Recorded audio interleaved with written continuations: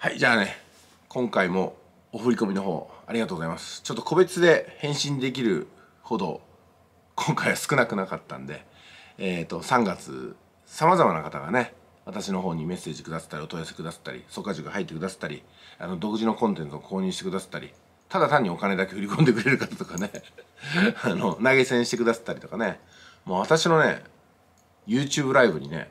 投げ銭というかスーパーチャットでしょ、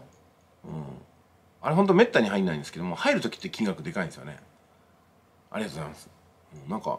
私と共有する時間があの金銭を払うに値するというふうに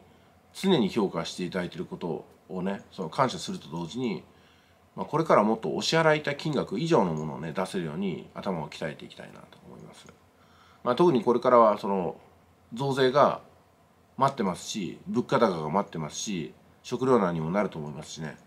で、うん、給料は上がりにくいという中でその副収入を進める私のチャンネルのニーズってこれからもどんどん上がると思うんですよ。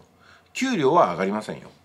給料は上がらないけれども自分で勝手に稼ぐ稼ぐことっていうのは誰にも止められないじゃないですか。だから自分で勝手に稼いでいきましょ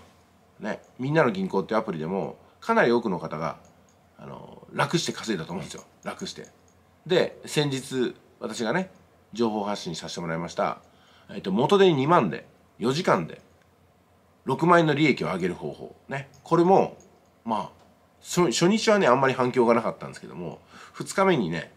資料っていうかあのワードでまとめた文章をくださいって言うんで、えー、お出しして3日目にもねかなり多くのお問い合わせというかお取り寄せいただきまして出させてもらいました。まあこれでね4月もしっかりと設けていってもらいたいなと思います。じゃああの本当にお振り込みありがとうございました皆さん。